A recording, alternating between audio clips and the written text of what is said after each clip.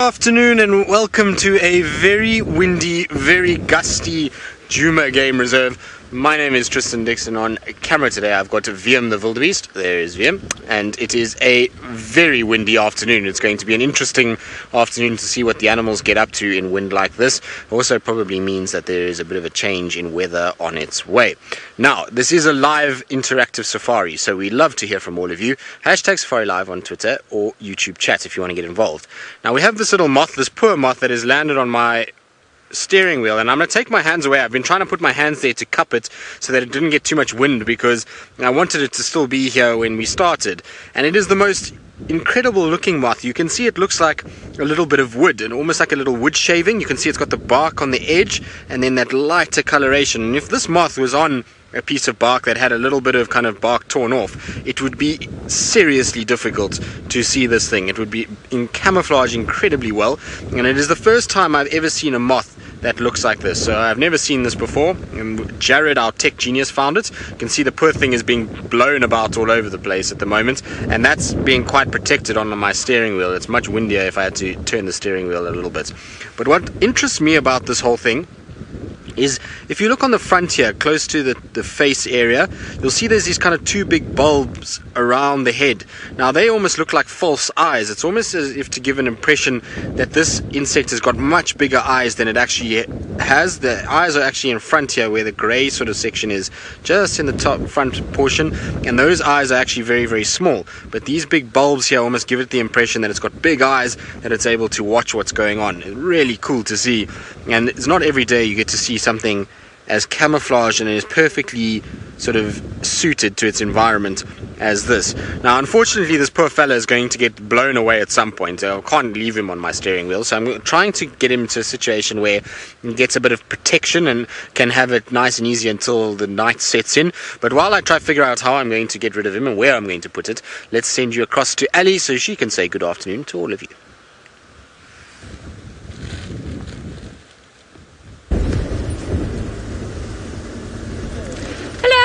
Everyone. Sorry, it seems like the wind is about to blow our cap, our roof, and everything else off. My name is Ellie, and on camera with me today is Ferg, and we are fighting and braving the African weather just to be able to go and find some animals. Now, if you've got any comments or any questions, please send them through using the hashtag Safari Live or use the YouTube chat. We are not too sure where we're headed. We want to go perhaps see the last area where the tracks were in, in this morning for a pack of wild dogs, see if perhaps by any miracle they've come back. And I think that's our plan for the afternoon. Other than that, perhaps we'll head later on to see good old boy Tingana, the male leopard. Hopefully we'll, he will be roughly in the same area where we saw him this morning and we'll be able to share some time with him. Now I'm hoping that will be the case. And other than that, like I say, just braving the wind. We were scheduled to do a walk this afternoon, but it is the windy conditions often make it very dangerous, so we've decided against it just because of our general safety. Now, as you can see, the wind all around us is, if you look at all the grass, you can see how everything's moving, all the trees, all the branches. Now, the weather has been quite puzzling, and we had this massive storm predicted for today, lots and lots of rain, but as the day has gone through, we still haven't had any drops, which is a good and a bad thing. So I wonder if perhaps later uh, on during this afternoon, we're going to get all that rain. It'll be interesting to see. Although we are ready for the rain, Ferg and I, we've got all of our rain gear, so we're not scared. We will brave the weather as as well as the Impala, I hope. They were being very clever, and we just went past one breeding herd and they were all tucked away in the bushes, all standing together, trying to seek or find some shelter from all this all this wind and the possible gloomy weather ahead. Now, there is a blue sky to our right, so towards the east, so I am hoping that the beautiful blue skies are going to carry with us for the rest of the afternoon and I think we are actually going to start driving onto the blue skies. That sounds like a wonderful plan for the afternoon we'll just pretend and go and leave the dark skies ahead of us behind us so that way we won't even see them. Right, seems like Tristan is looking up at some tracks, so let's head back to him and find out what he's after. I am looking at tracks. I'm looking at tracks of probably one of the biggest snake tracks that I've seen since I've been at Djuma. This is seriously large. As you can see it, it's kind of twizzling its way. I don't know what the word would be. Sort of going from side to side across the road. You can see the big mounds of um, sand being pushed away from the backside and going so the, the, snake was moving towards us with the sand being pushed away from us a little bit. And so what I want to show you is just how thick this snake track actually is. It looks about the size of my forearm. So where's a good clear one? Here Wiem let's do this side. So if I have to put my forearm inside there there we go. It fits just right. So my forearm would fit inside of that section right there which is well, there we go. That's how wide that snake is. That gives you an idea of how thick this snake is and how big it is. Now, snakes that get this thick are very few and far between. There's only probably three candidates that we could take for this. One would be a puff adder, the other one would be a python of some size. I mean, that wouldn't be the biggest python, but it would be a python, or a incredibly large black mamba would be the other option. But given the small gait of the twist and turn, it probably in all likelihood is a very big puff adder. Puff adders get a wide, wide, wide body, and that small kind of gait like that would be a short snake, but very wide, but still amazing to see. Now it's gone towards a little section here behind me that's fallen over trees and stumps, and and these tracks are actually, funny enough, on top of our vehicle tracks where we came down just now, which was not long ago, maybe about 45 minutes ago. So I want to just check back here and see, maybe we get lucky and we can actually find the snake and track it down. Probably went in somewhere here.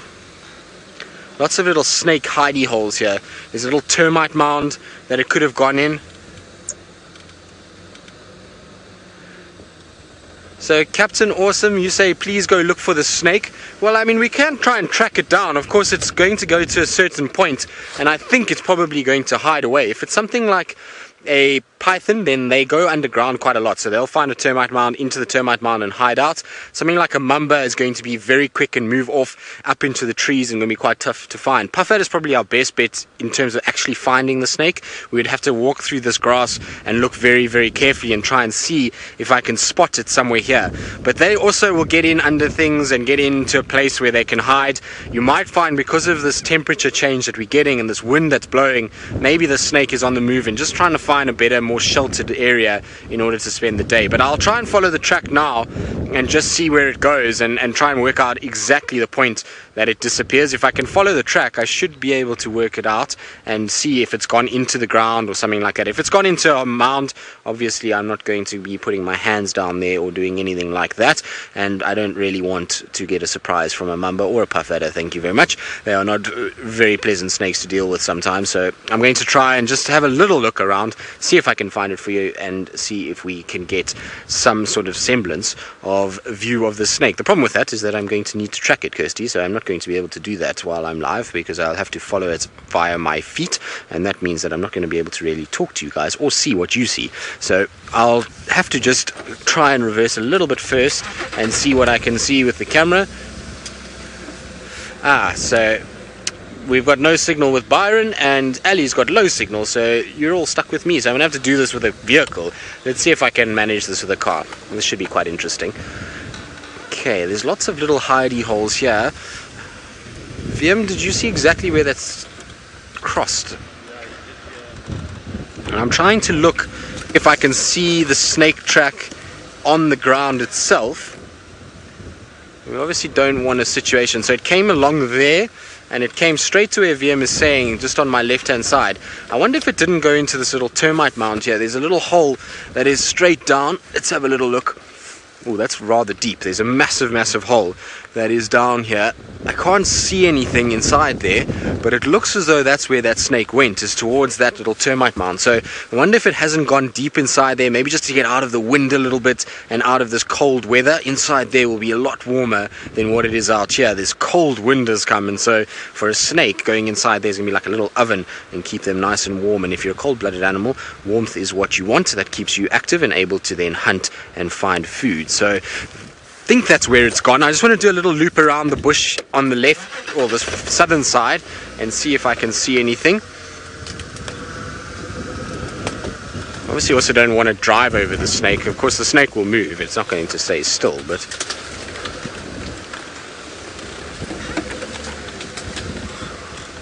But like I say, the track is very, very fresh. It's from 45 minutes ago, at maybe even later. That's just the kind of time frame we've got to work with. So, I mean, if that was a leopard track, that would be as fresh as you could possibly ask for, and you would bet your bottom dollar you would find it. But a snake is a completely different story. Looks like Yuri might have some company if it's continued all the way through. Mm, going to be very tough to find it in this. I don't think, unfortunately, we're going to get this right. With that termite mound there, I think it's gone straight down inside. I mean, there's no sign of it anywhere where I can see in these trees, and we should be able to spot it quite quickly if it was like that. So, unfortunately, we're going to have to abandon that search for now and brave the winds of Djuma. Tanis, in terms of tracking, the hardest things to track, I mean, it depends on what we're talking about. You know, you've got species like um, the big animals, which undoubtedly the hardest big animal to track is leopard by far. Uh, it's why when you do your tracking assessments, leopard is the one that you follow in order to become the highest level of tracker that you can be. So you have to find the footprint of a leopard and follow it and try and find that animal. So in terms of big animals, I would say them. Um, in terms of smaller animals, well, I mean, there's a lot of different ones. There's things like wasps that collect mud, or um, spiders, or um, crickets, scorpions. Uh, those are minute little tracks, and because they don't really leave big sort of traces on ground, other than them crossing roads or pathways, it's almost impossible to follow their tracks. So I find those very tough. Um, what else is a difficult animal to track? Things that move very fast and very far. So wild dogs are tough to track.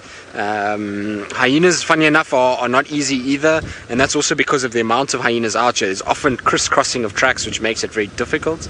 Um, what else? That's about it. The rest of the big animals, elephants, buffalo, rhinos, um, they're fairly simple in terms of the tracking process. They leave big signs for you, and the nice thing with them is that they leave very large um, areas where they've fed. So it's not only their footprints, but it's also where they've fed in broken branches, pulled up grass, and those kind of things. Now, VM has spotted a little surprise in the grass there. So it's very well camouflaged, but there's a little scrub hare that's come out quite early, and uh, probably because the clouds are out. It's a bit dingy already this afternoon, and so a perfect time for a scrub hare just to come out and nibble. But you can see nocturnal and why they're so successful at being nocturnal. Look at the size of the eyes and the ears in relation to their body.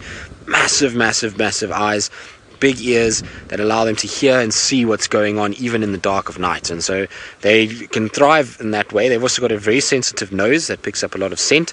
But this poor animal will probably be as petrified as it looks. It looks very wide eyed at the moment, and that's because of all of this wind. It's not going to be an easy night for any of the prey animals.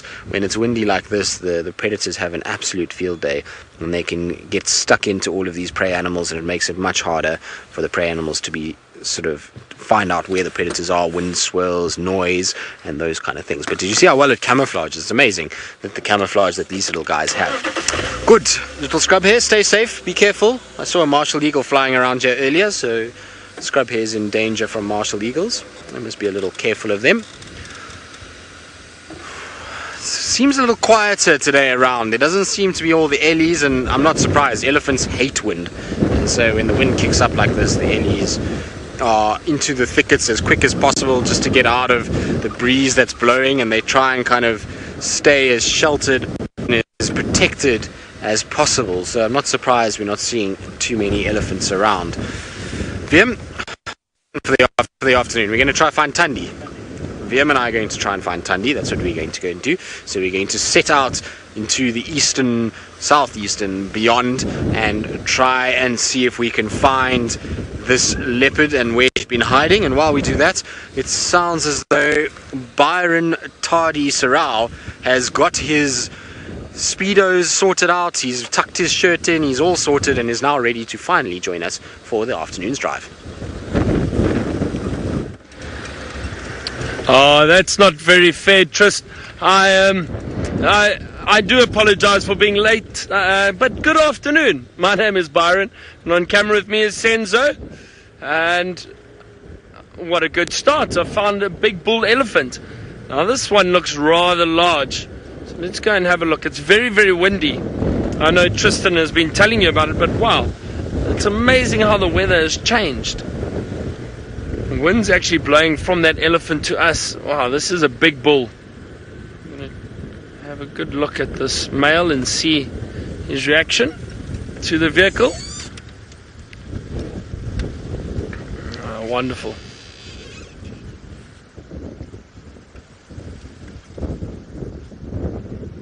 Now, this is a great start for me. You all know how much I enjoy spending time with these big elephant.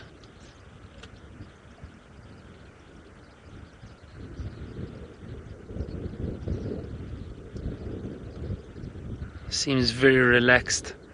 Now, I wonder if this isn't the uh, that elephant that's got a hole in his ear. Can you see a hole in his ear there, Senzo? No, on his right ear. Let's see. Sorry, the other one. Uh, it's just not turning enough. I don't see a hole. No. No, so it's not the elephant that um, Taylor knows as Daryl. But he is a large male. Enjoying the fruit at the moment. So many fruit here. Uh, I'm just going to sit still and see if this male decides to come a bit closer to us. It could be could be really entertaining. Now, I'm sure I saw this male the other day because he's got a prominent hole in his left ear, a small little one, and he looks uh, and he looks uh, he looks similar. I'm not sure though. There are a lot of elephant that uh, come through this area. Bobby, I'm not sure. The largest elephant I've seen. Um, I did see one or two really old bulls on Londolozi a few years ago, uh, passing through, and and some some bulls. There's one male, really really old male, that had these massive tusks. They almost touched the ground when he walked. And that was magnificent to see. I saw that once. Um, but I, I've definitely seen bulls a bit bigger than this. Okay, I'm going to sit quietly. Let's see what this male does. Is he going to come closer? I'm sure he's enjoying this cool breeze at the moment. Not showing any signs of aggression. Seems very relaxed.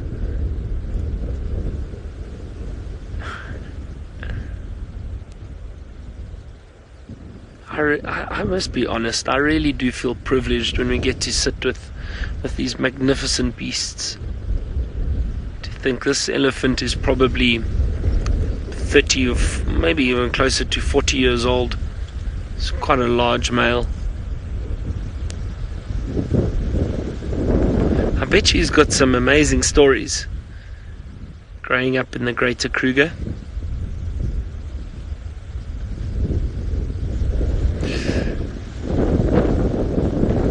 Now, my plan this afternoon is actually to go to those lions, the Nkuhuma Pride.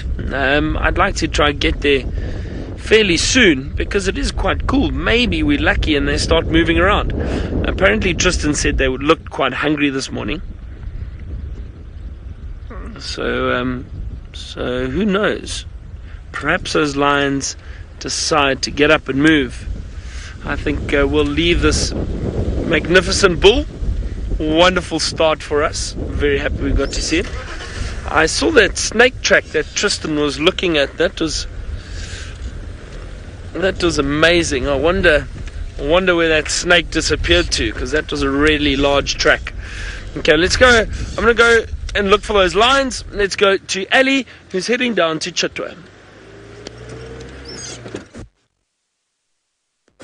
We are, and we've taken a bit of a detour. We've decided to take the northern boundary and then go down to Takatla just to see what's been happening around here. Obviously, all in the hopes of fi- finding Tamba, perhaps somewhere perched up on a marula tree. Although chances of any leopard being on top of a marula tree today are I would say a little bit slim just because it is so windy. So if it's very windy at our vehicle level, I would imagine that on top of a marula it's even worse. So likely they're all going to be doing the same thing as Tingana was doing today, and they're going to be down on the ground, probably hidden, tucked away in the bushes, while they stalk something or while they carry on with their afternoon nap. Now, we haven't really seen all that much up here, and we couldn't even pick up tracks for Tamba, so I think he's probably still somewhere in Buffelshoek, probably trying his luck. He was hunting yesterday, so I am hoping he managed to get something, perhaps a duiker or a steenbok. That would have st- still been a good meal for him. Now, there's always the hope that they, all of the leopards are going to catch something bigger this afternoon because it is very windy, and it seems like this type of weather condition is normally favorable for the predators to catch something. So we'll see. I think maybe tomorrow morning or the day after, that's when we'll really be able to see what's been happening um, after the night, because that's when they're going to have the premium advantage. All of these beautiful. I think we're to go past happening there. You know, might be coming down to the water. And the last time we went there, which was hippos, which was there's a normal good old friend, and the other one who I don't know who it is. While we get to Buff Dam, though, we're gonna head back to Byron. Believe is on the lion search. Um, I am on, indeed on the lion search. Now, let's see, I think they were around here somewhere. Senzo, let's keep our eyes peeled. Now, again, this weather is tricky because they may have already got up and started moving, which would make it a bit harder for us to find them. So we, I'm just going to scan very, very carefully as we go through here. I think they were around here this morning. Try and have a look. Obviously, a lot of vehicles have driven through here already in the course of the day. So it would be difficult to find fresh tracks of them heading this way. But maybe, maybe if they've started to move, we might find fresh tracks of them moving this afternoon. I don't think our birding is going to be very good this afternoon. Generally, when it's very, very windy like this, then the birding is not great.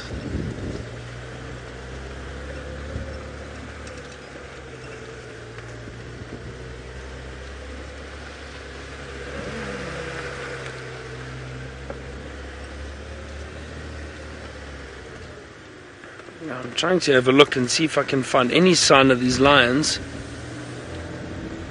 Anything yet, Senzo?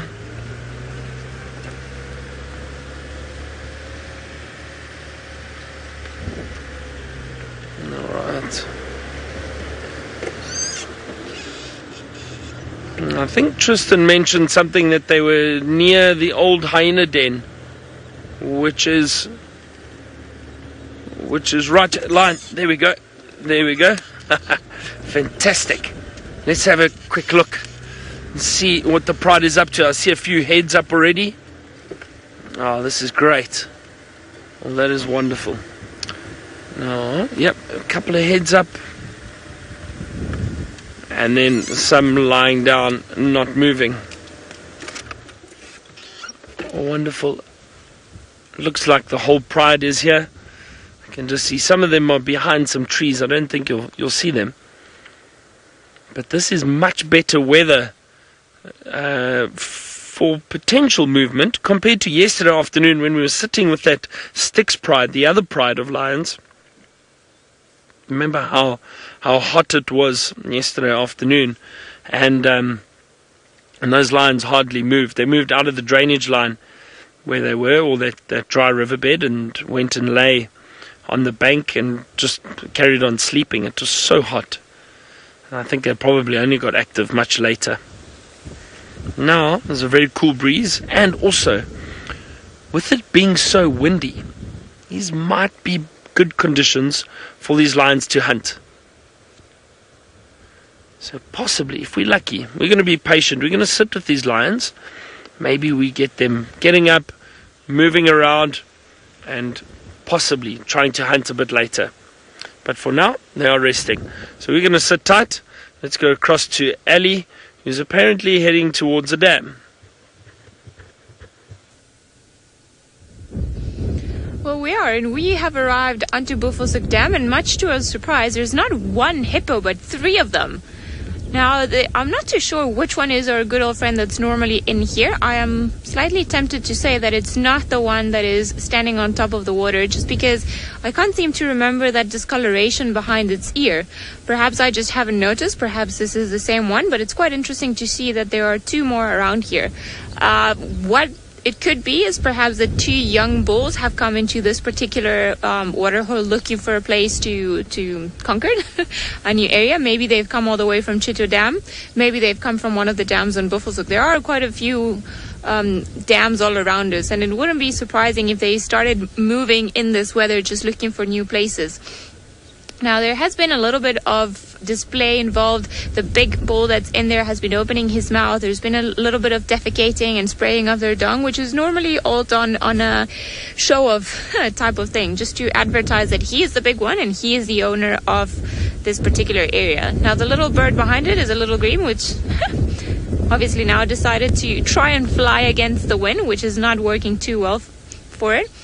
And then we've got this three very puzzling. I'm hoping that they're going to do something as they were a little bit more active a few moments ago. So we're going to stand still and just see if perhaps they get up to what they were doing earlier on. Now, I wouldn't be surprised if these guys only arrived today because yesterday afternoon, I mean, Byron and I were here and there were definitely only two of them in there. So there's a newcomer, and perhaps that's what's throwing a bit of a spanner in the works and altering them. First lady, yes, hippo do mate underwater, and their calves are also able to suckle underwater, which is quite interesting uh, of in terms of all the things that hippos can do underneath the water. But yes, um, they do it under the water. I'm not too sure if these guys are even interested in that. And I think that middle one, I, I want to say that he's a new one and he's a much older bull in comparison to the other two that we're seeing here. I'm assuming they are bulls because they don't have little ones attached to them but um, I don't know. Seems like seems odd. Seems like new things are are starting to change with this wind. Are you going to tell them who's the boss? Definitely approaching one of the youngsters. A little bit of tension going on there. Gone all the way down in the water. Okay. A bit of submissive behavior. Normally, when animals make themselves either look smaller or when they put their heads down, it's a way of admitting almost their defeat in terms of, of territorial, of hierarchy, of dominance, as in a way of saying, fine, I know you're the boss, let's be in peace, you're in command. So I think perhaps that's we, what we just witnessed. There's one to the left, a little bit smaller than the one on the right, just putting his head down and being like, "Fine, you you are the boss. Just we're fine. Don't worry about it." Now, I was hoping that he was going to come out and open his mouth and show his big tusks to us, but it doesn't seem like he wants to do it just yet. Dale, I'm not sure if hippos ever drown. Perhaps if they can, if in very big currents, if they cannot get to to the surface and get air on time, I'm pretty sure that would cause them to drown. It's part of the reason also why they seem to prefer areas where the current is very slow. And normally, if there's a pod with babies, they either prefer lakes or air, rocky areas. But you'll never find them in a in a river that's flowing all too quickly. Probably because if they cannot fight the current to try and get to the surface to get air, yes, they could potentially drown. Although in this particular case, I'm pretty sure that they're standing or lying. I don't think Buffelshoek Dam is that deep. I think it has gotten surface. Otherwise, they wouldn't be able to have as much of their body exposed and out and about. Hmm. Seems like Tristan has found a creature that is perhaps just as pretty as a hippo, so let's head over and see.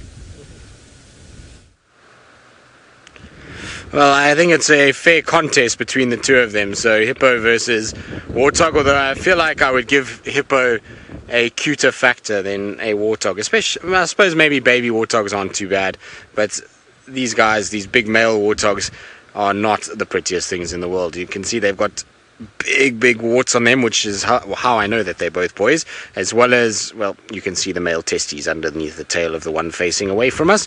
And the one on the far side is a little skittish. The one closest to us is not too bad. It doesn't worry about us too much, but you can see that one's keeping a beady eye on us and is covered in oxpeckers at the moment, both of them. And so these guys, I'm sure, are getting quite a bit of food and off go the warthogs trotting away.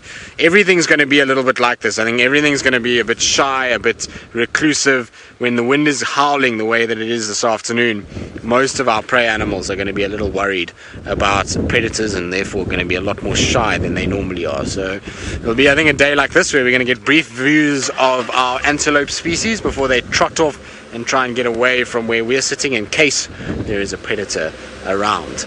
Now we've just driven a sneaky little route along the Mulawati all the way from just south of the dam wall and then down towards Chelapan, just in the hope that we'd maybe pick up some sign of Thandi moving around in the Mulawati. Maybe she's kind of moved back into this section and just keeping a low profile, but nothing. There's not a single track for a female leopard inside there that I picked up, and we looked quite nicely and we checked all the spots that she's used before with this cub. There's no sign of her visiting any of those areas, so she's not this side. She must be further to the east, and I think maybe she's spending a bit more time on Torchwood than we actually realize at the moment. So I'm to just kind of check Treehouse Dam quickly down to Twin Dams and then we're going to really work the eastern side quite heavily for ton, any sign of Thandi. So we'll drive around, we'll try and listen out for some alarm calls.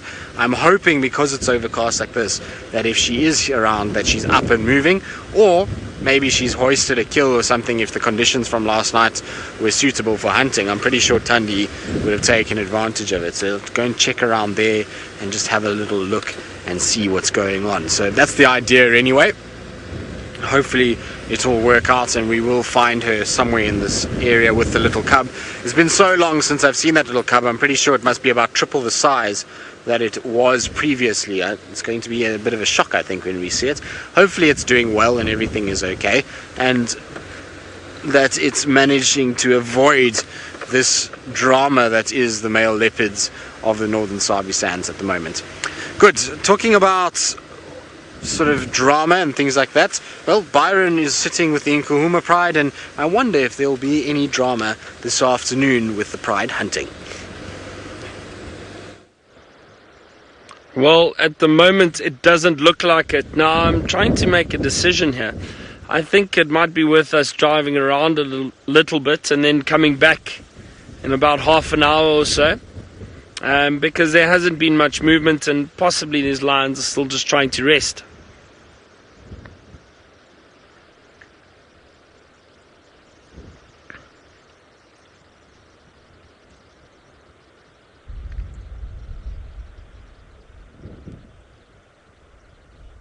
You can see that that wound on that lioness. Ah, it's, it's not looking bad, but it's still it's not ideal. That poor lioness. It's um, I, you know, I don't know. Actually, don't know what caused that wound. I would I would assume it was uh, from hunting something.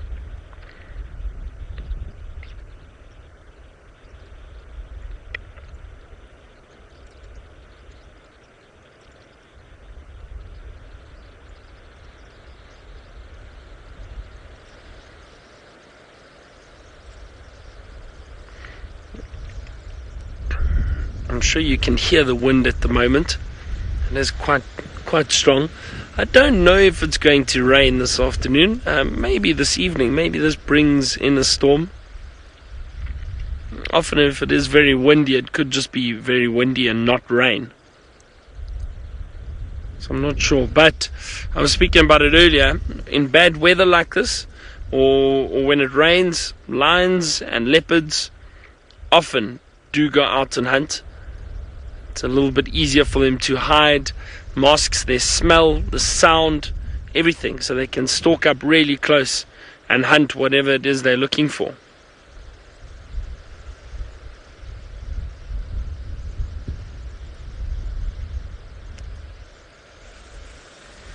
I think, um, you know what, I think I'm going to leave these lions. I'm not going to sit here now for too long, but I will come back a little bit later. I just think that for the moment they seem uh, quite relaxed.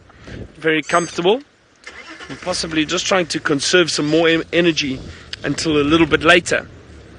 So let's drive around a bit. We can find. I'm going to check some clearings.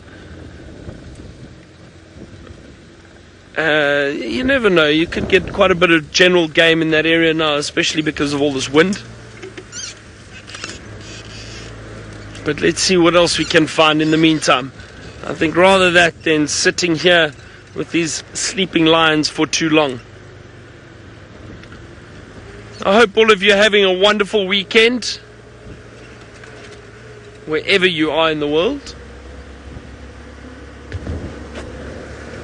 Ours has been great, actually. Ours has been lovely. Nice and relaxing today.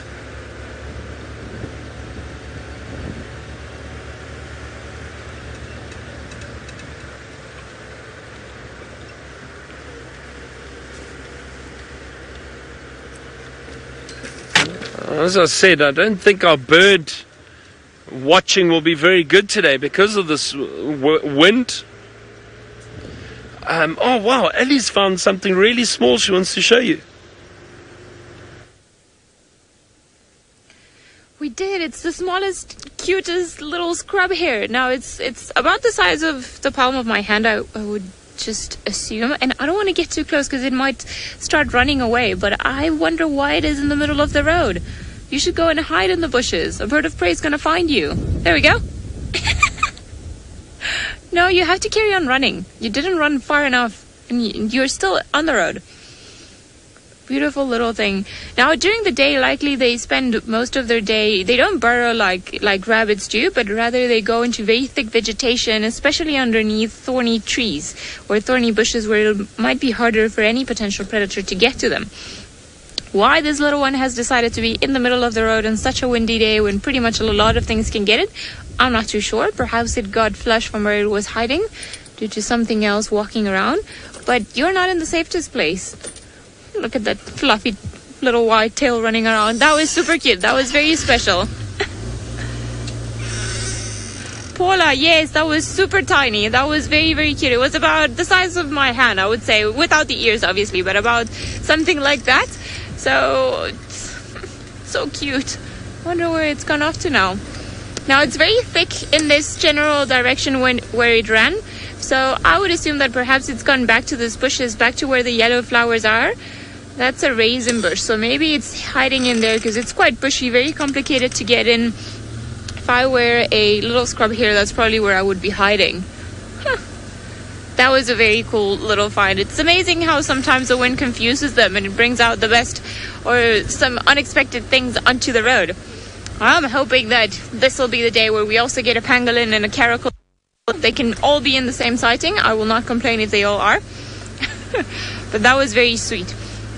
Now, hares are mostly nocturnal animals, so the fact that we've seen it out and about during the day is also a bit of a strange thing. And this little one has got to be careful if it wants to have a good chance at, at making into adulthood, because it might not be the best thing to be out in the middle of the road during the day. Joy, its mother, it's probably somewhere else. They uh, they develop quite quickly when they're little, so very likely its mother is just away doing its own thing, and they don't spend all their time with the little ones. When they're tiny, obviously the mother, and when they're about this big, the mothers will come and suckle them uh, a few times and then go and forage and so on. But I think this one is probably already on its own, or if not on its own, at least it, the mother has gone in a certain direction and that one has been left behind as it would normally happen. Perhaps the mother is not too far away hiding somewhere else, and this one was just being probably a naughty teenager and going out of the house before it should. Wants to party out in the wind. Now, what are these tracks over here? Hmm. Seems like I'm imagining things because there are no tracks on the road. Maybe that was just wishful thinking.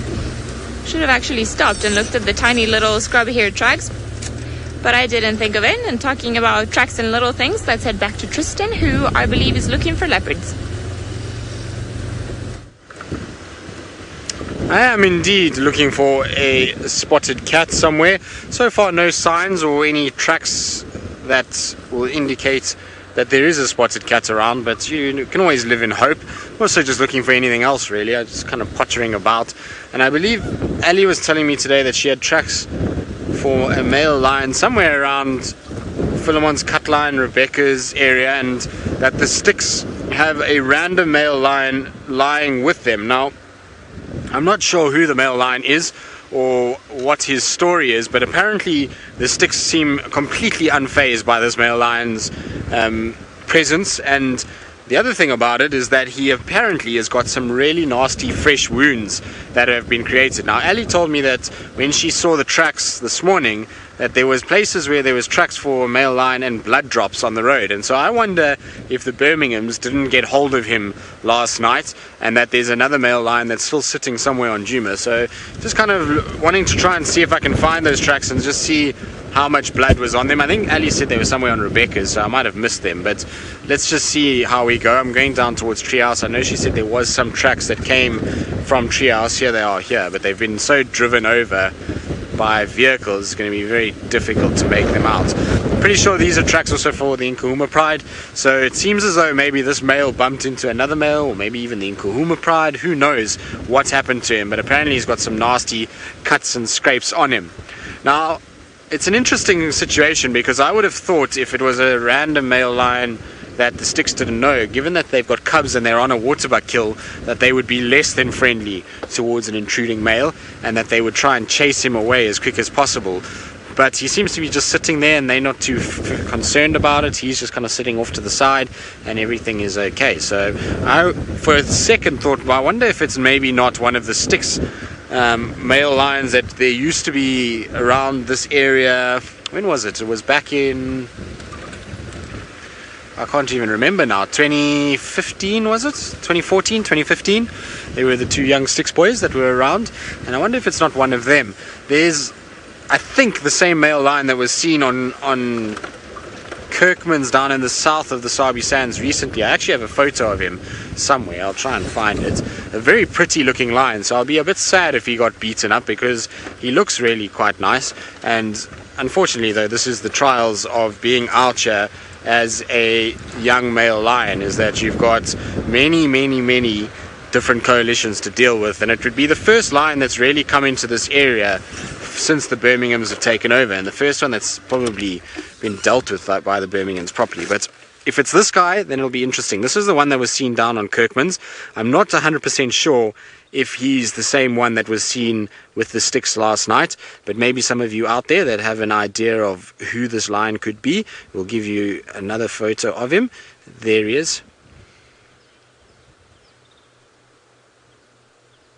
So there we go that's the photos of the guys from Kirkman's that they sent to us to try and ask. Now, Karen, you say that it could be the ginger matimba that could be with the Styx. Interesting. I, am not 100% sure. Like I said, I'll try and ask the guys if it's an older line. Maybe it is. I'm not sure. I know that the, the older male, well, the ginger um, member of the of the Matimbas has broken apart from Hairy Belly, who's been left in the Kruger somewhere and very badly injured, and he's kind of moved on. But this line is a much younger individual that was seen, and this was taken three days ago down on southern Mala Mala, and so if that comes straight north, pretty much puts it right here. So I wonder if it's maybe the Matimba or it is um, this individual. But if somebody saw photos and is the Matimba, that'll be quite cool to know. It, interesting that it's back in this area and surely not a good sign for that individual because I'm sure the Birminghams will try and get hold of him if he is around here. And like I say he's got some nasty cuts apparently on his forearms that are very fresh and bleeding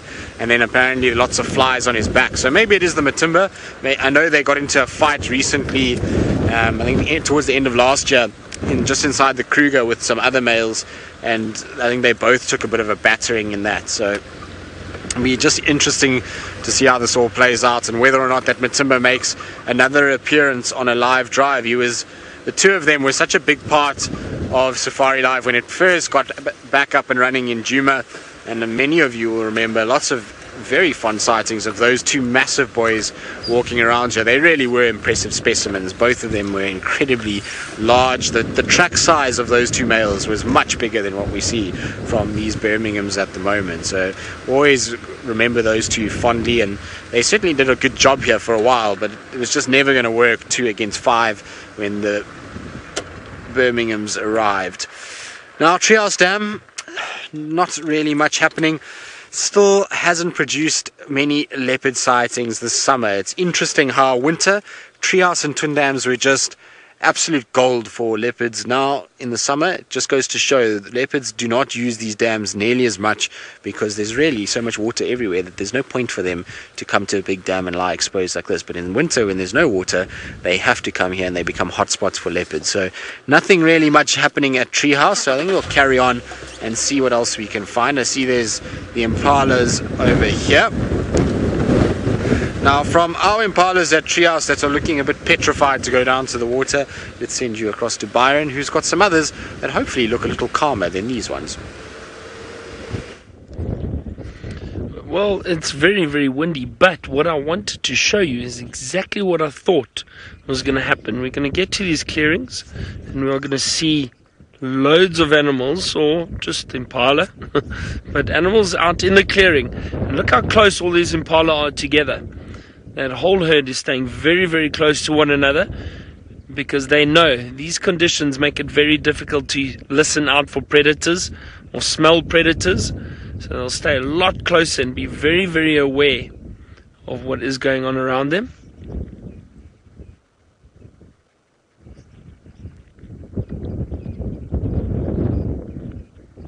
But it makes sense for them to stay in the clearing so they can keep a lookout for any potential danger. Sorry, Sens, let me just move forward. I just saw some other movement there. Uh, I think there's one or two warthog moving through there too. Can you see them just to the left of those impala and actually moving through? Yeah, there's one, two, look like three of them. And you see, also quite clever, staying close to the impala. So impala alarm call, the warthog will be alerted that there's a predator around.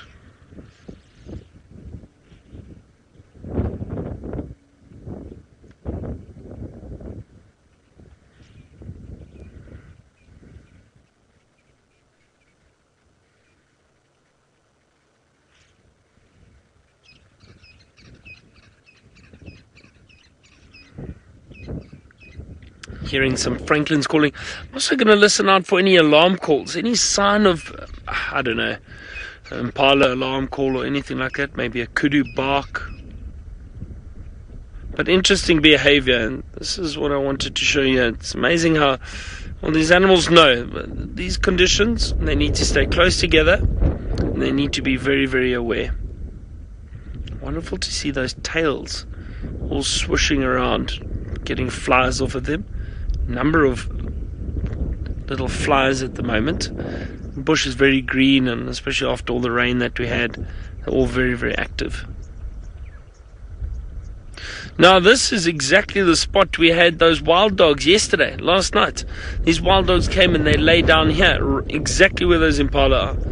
It's amazing how one day you can have a predator and the next day prey in exactly the same position. Wonder where those dogs went though. I think they ran north. I think the general consensus was that they ran north across our boundary into Buffelshoek and I think even all the way up into Manyeleti. Which is not that far from here as a crow flies.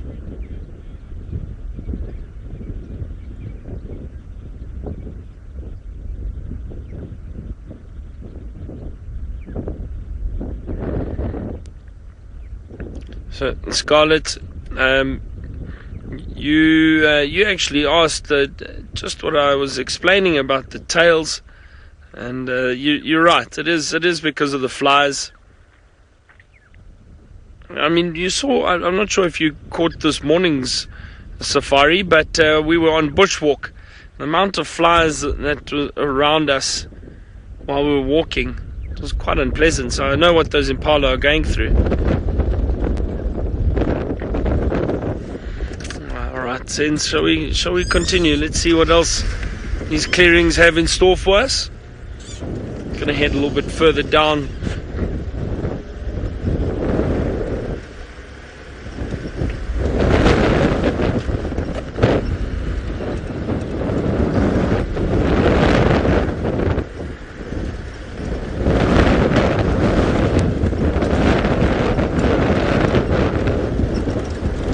funny how animals all take a bit of shelter in uh, in uh, weather like this. It's not very pleasant to be out.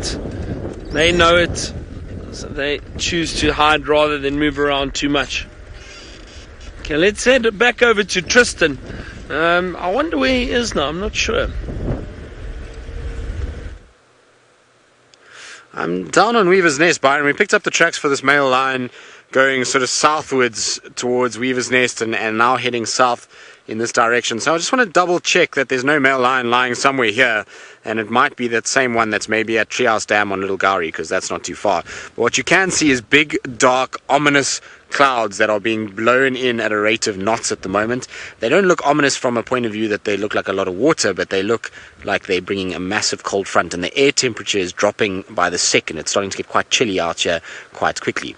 Now, off on my left hand side, there is a big bird sitting in a tree. So it looks like a pale form Wahlberg's yes, pale form Wahlbergs, so probably the one that nests close to twin dams and is being absolutely blown about all over the place. You can see how it's kind of leaning into the wind a little bit. So normally the Wahlbergs sit a lot more upright than that, but this one is having to sit quite horizontal and kind of duck its head a little bit to try and just balance itself. And see how much the tail is actually moving up and down in order to keep that bird balanced while it's sitting on top of that tree. It's getting blown about all over the place, and feathers are being a bit windswept. And this cold wind that's coming in, I think, is a situation that's going to lead to a lot of birds of prey being down on the trees this afternoon. There's no thermals to be ridden, and in wind like this, they're not really going to be effective in hunting. So I think we're going to find a lot of our birds of prey sitting on top of trees and taking it easy.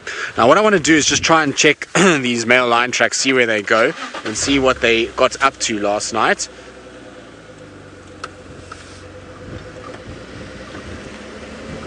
Dale burrowing birds of Djuma.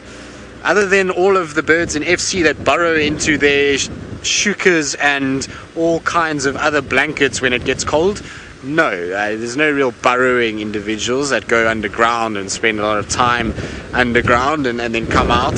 So all of our birds pretty much are either tree nesters or they are individuals that will nest on the ground but not underground so they don't actually go into it. Now there's some disturbance on the road. I just can't see nicely. The light is so soft and there's so much wind that a lot of these tracks end up looking quite windswept. So i'm just trying to see what's going on yes there's the male line track so he's here but there's no blood on this particular track at all that i can see i'll try and just move a little bit so vm can get it on camera but you can see what I'm talking about how difficult tracking becomes in soft lights. Now VM, let me get out for you so I can show you exactly the track that I'm talking about. In fact, I've even lost it a little bit, but no, there it is.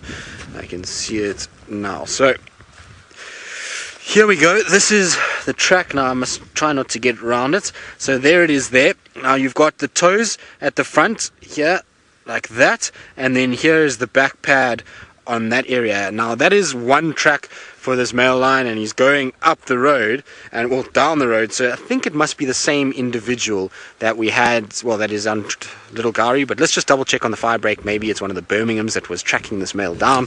It's interesting to have a little look but tracks are really tough to see. They're not easy at all. It almost just looks like a plain white surface at the moment. So we'll try and kind of follow these and, and see what we get but I think these might have crossed south into Little Gowrie already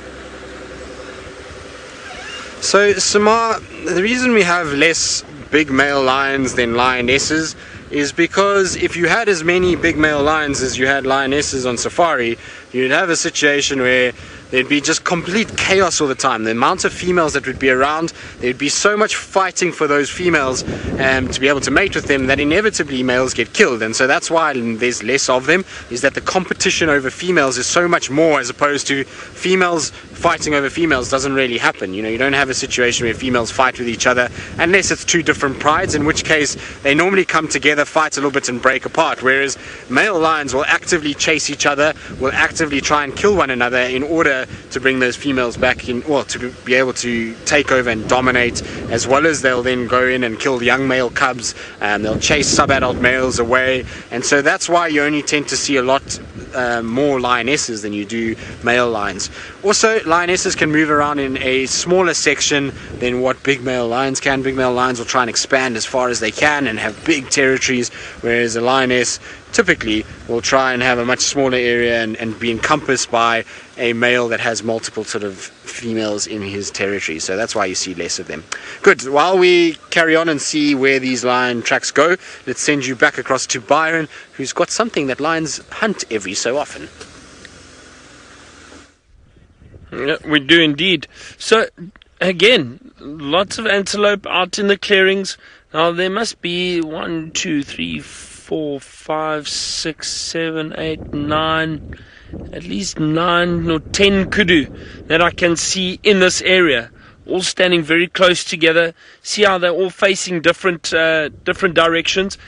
Really interesting behavior, and all to do with the weather.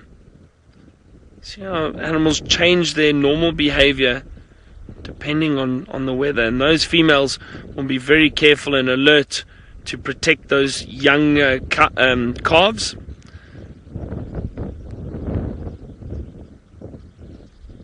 All these all these animals are looking. Look at that little one. I wonder if some flies were biting it. I'm just going to move forward slowly just to get a better view of those quickly. Let's see, but they're all standing very close together. Now, usually, usually, I mean, you've seen kudu. They tend to move around. Oh, Tristan's managed to find a find a chameleon. Let's go have a look quick. I'm the winner! Woohoo! So we had a bet who could find the first chameleon, and well, Vildi is actually the winner. He spotted the chameleon before me. So, Vildi, let me try and go forward a little bit and see if we can get it a little bit better than the angle that we've got now. What a chameleon is doing walking around in weather like this, I'm not quite sure. Where did it go, Vim? It was right here somewhere. So I'm going to try and just get off and look and oh here it is right here so it's coming out from there it goes. So, hello little one. How cool is that color on that chameleon? It's got the most epic coloration because it's kind of probably out on the road. It was trying to just show itself to this big vehicle that was coming down. So it's got these browns and whites and electric greens and it is really a very pretty female by the looks of things. It looks like a big female and actually looks as though she might be carrying eggs. Look how swollen her tummy is. You see how bulged that tummy is at the moment? And she's not flaring out to make herself big and puffy because you can't see the orange throat. So I think she might have little eggs inside there that she maybe might be wanting to lay. But how cool is this? Little chameleon is the best thing. Now I know I get very excited about this, but we haven't seen many chameleons. You see, look at how deep her body is at the moment. I wonder if maybe there is some little ones inside there. Interesting. But the coloration of this particular chameleon is absolutely phenomenal. It is really super bright and the kind of camouflage that it's trying to show is very cool. Where are you off to? You must be careful. Now, a chameleon out in the open like this is in a lot of danger. There's a number of birds out here that go after chameleons, so particularly things like the grey-headed bushshrike, they are very dangerous to chameleons. They come out and they'll grab them, and then a number of different snakes too. So boomslang, vine snake, mambas, cobras, they'll all go after a chameleon. Look, it's just peering at us through the grass. You see that? They are the coolest things, and they've got these incredible eyes where they are able to manipulate each eye individually from the other one. Now, Jeff, you say that's a first for you to see. Well, Jeff, I hope you're enjoying it because they are super cool little creatures, and like I say, not something we get to see every day. So that's very cool, and I didn't expect to see a chameleon at all in conditions like this. This is not really chameleon weather. We find them out in warm evenings, but that was super cool. So I'm glad we got to see it. And so while we carry on and see what else we can find and what other mysteries there are in the bush, let's send you back across to Byron and here's Kudu. Well, that's awesome. We haven't seen a chameleon in a long time. And we're hoping to spot them at night, but we haven't seen one, so it's the first one we've seen for ages. See, they're hiding in the long grass, I think. I'll watch these oxpeckers and the kudu. Cleaning all the ticks off those ears. And I get right in there.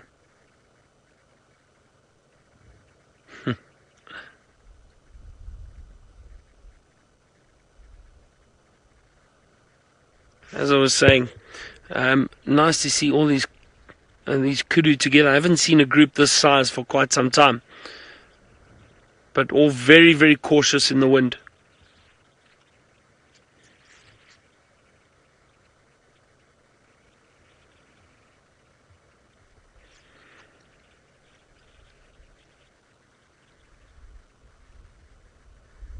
I wonder what that kudu was chewing on there. It looked a little, little hard. But you see, it swallowed whatever it was, and at times, because these kudus have these really long necks, you can see when they regurgitate food again, uh, being ruminants. You can see that little food ball come back up, and then they start chewing. So let's let's actually see if this female does it again. There, do you see that? Exactly what I was speaking about. Yeah, wonderful. So she just regurgitated that food again. Now she rechews it. That's why the, the, most of that, or actually all the antelope do it. They're obviously ruminants, very efficient digestive system. Re- regurgitate what they fed on. It's mixed with um, some enzymes and um, and stomach uh, juices, and then that helps digest it even further, and then eventually they'll swallow it again but it's broken it up a lot. And again, that was another one, another one.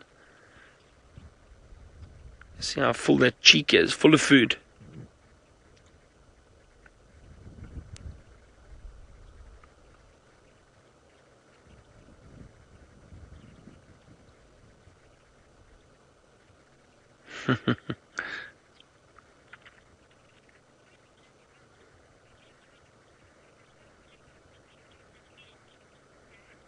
Uh, Mark, uh, I'm not sure. I'm, I'm, I would, I would guess at times the oxpeckers don't actually get the entire tick off the animal and maybe leave the head behind. For those of you who don't know, when you pull a tick off, you've got to be very careful to get the, the, the head of the tick out because often that head um, digs into your skin and, and will sit there. And when you pull the tick, it breaks off and that can cause a bit of an infection. Now, with the oxpeckers, I mean, they comb so finely across the skin of these animals. That I'm sure they usually get the whole tick, but at times I think it's inevitable that uh, the head breaks off on the animal. We saw a lot of ticks this morning on bushwalk. I haven't got itchy yet, but I'm waiting because a lot of pepper ticks around at the moment too. Not very pleasant.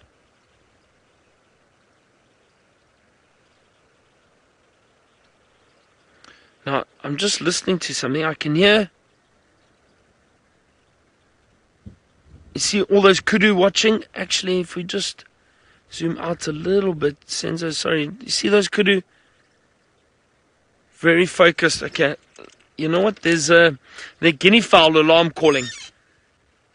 Now let's see if I can maybe get through there. It sounds like it's quite far in the block, but guinea fowl definitely alarm calling at something. And all these kudu turned and faced that way immediately. I wonder if there is a gap to get through here. Look at all these kudu together. This is amazing. There's one impala. He's he, he's clever, staying close to the kudu. I hope. Sorry, I just want to listen. Yeah, look, those guinea fowl are very unhappy. I'm going to go look in there quickly. Let's go across to Ellie, um, find out where she is, and I'm going to try get in there and see if we can find what these guinea fowl are upset about. Well, it seems like Byron is normally lucky when guinea fowls are alarming around him, so I'm hoping that there will be something in that particular area. We are on our way to Chitwa, but we've bumped into a herd of elephants, so it's always wonderful to spend some time with them. Now, the ones that we're looking at are a little further away from where we are, but I just want to stand still because there are some on the bushes very close to us, and they might come out onto the road in the next few minutes or so. So I think it'll be worth it if we're patient, and then they'll just might pop out in here. Now, updates from Tingana, it seems that he's moved and he's no longer where we left him this morning. So I think we're still going to try and get uh, down onto that area, see if we can perhaps figure out where he's gone. And if not, then we'll just go around Chitwa. Maybe we'll get lucky. Now, this is the particular elephant that we were talking about that's very close to the road, but I think she's just taking, she, him, hmm, we'll see now, taking its time coming into the road. There's a little one. Hello? Almost there. Elephants are also very alert in the wind. They don't particularly like it, and I would imagine for them it's even more annoying because with such big ears, the e- the wind is probably oh, a bother more than anything else. Do I need to move the car? I think maybe I am going to move the car slightly so that we get a bit of a view because it seems like elephants always act that they've like they've got all the time in the world, and well, pretty sure that they do. So it's just I think that if we go like this, perhaps we'll be able to get a view of them without getting the poles of a roof in the way. How's that for you, Fern? Does that work? Alright, so it's the mother and the most recent offspring, and it seems like there's one at the back as well. So the last two offsprings that she's had. Are you guys eating the grass? Yes, they're eating the grass at the bottom of the tree. I thought perhaps they were interested. Oh. I don't know if you can hear that, but there was a lot of rumbling.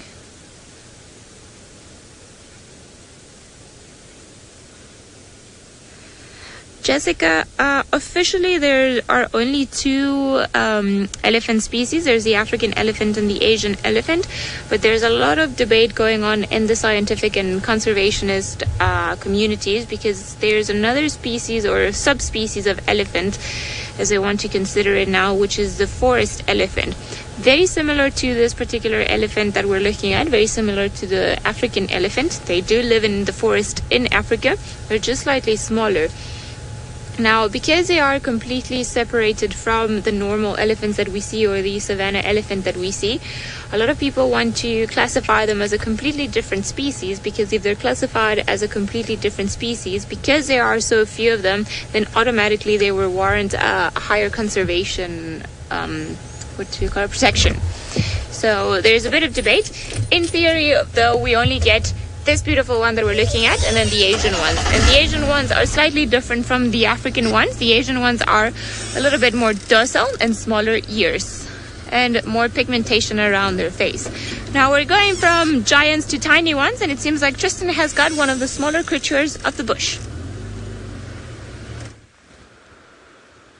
I do indeed. I have one of the cutest creatures, which has now obviously disappeared because, well, this is what happens. Whenever you want to show a creature off, it disappears. But there's its little tail sticking inside there. So that is a little tree squirrel that is kind of hidden inside of that area. Now, there's another squirrel that's alarm calling just in front that I want to go and investigate quickly. It's, I suppose, whether that you could have things moving around. We've just seen a chameleon obviously move, so maybe a snake could be around, but I just want to double check. Ah, that's why there's a bird of prey right here. So is it a Bateleur eagle? Yes, it is a Bateleur eagle. Okay, okay, okay. You don't have to worry, it's a Bateleur eagle. It's just, it's not going to hunt you. So the squirrel is going crazy because it's seen a bird of prey, but the reason why is because it just sees that shape and it thinks to itself probably this is drama. Can you hear it? There goes the eagle flying off. So this squirrel is probably petrified that anything with wings is going to be some sort of death that's going to come towards it. So that's why it makes all that noise. Now that it's flown away, all is quiet. Okay, we got your point. Thank you for showing us the Bateleur eagle. Well done. How cool is that? it's not every day you get to hear them.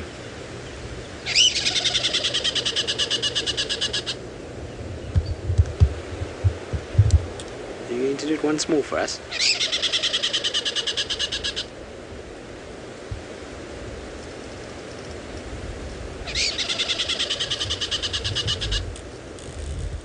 So that's what we always look for. When we say squirrels are alarm calling, that's the sound that we're actually talking about. And it's a very cool sound. Now, I'm sure there's different frequencies, pitches, and tones depending on whether it's a bird or a leopard or a snake. But honestly, I don't know what the difference is between them. I find with leopards they're far more insistent in, well, kind of repetitive and a lot quicker and a lot higher. But this is, I mean, it's difficult to say what they're actually looking at. So you always have to try and investigate it, and that's why we always follow up on alarm calls, as you never know what you're going to get from a squirrel. Anyway, we're going to send you back across to those big animals that Ali is still with, and hopefully they will come out and have a really nice view of them. Well, they haven't now. It seems like they're going again. Now, unfortunately, they have crossed into a property that I cannot follow them. But at least for now, we've got a nice view of them heading into the bush. And you can see the branches are moving a little bit. So I think that's why they're not all that happy. Now, it sounded like there were some more elephants behind us. So I'm just to go and explore. Perhaps we can see a few more elephants coming all the way from Chitwa Dam. And then we'll just delay or search for Tingana a little bit. Maybe he's actually at the dam himself. I wouldn't I wouldn't put it past him to go back to that spot. But there are a few spaces where I want to go check for him. But if there are more elephants down down at the dam, that would be very nice to go and view them if they're drinking. Now I am hoping they'll be there. Ooh, lots of wind. Now it was funny because when we were sitting with those elephants earlier on, I don't know if you guys could hear the one female rumbling, and she was quite aggressive about it. And the little ones, instead of coming onto the road where she did, it's almost like they had to walk in the bush and then cross where the rest of the herd had crossed further ahead. It's almost like she said, "No, you don't. This is not the road for you to cross. You need to do it further away." And then they went all the way and around. Would have been just fine for them been just fine for them to walk around it, but clearly there was something that was unsettling her, and she just felt that her youngsters had to do the route that the other ones had done. Now, let's see. Hopefully, there will be some elephants at the end of the road, or at the end of the rainbow if we can find either the rainbow or the elephants. Not too sure. Perhaps they were calling from far away because with this wind, I wouldn't be surprised at noises that are being carried a little bit further if we are on the right end of the wind. Now, it doesn't seem for now that there are any elephants down at the dam. Uh, or maybe they, I can't really see from here, but we're gonna approach and go down there anyway, see what's lurking at Chitwa Dam this afternoon. Perhaps some bigger things, perhaps some smaller things, and we'll see what birds are braving the weather.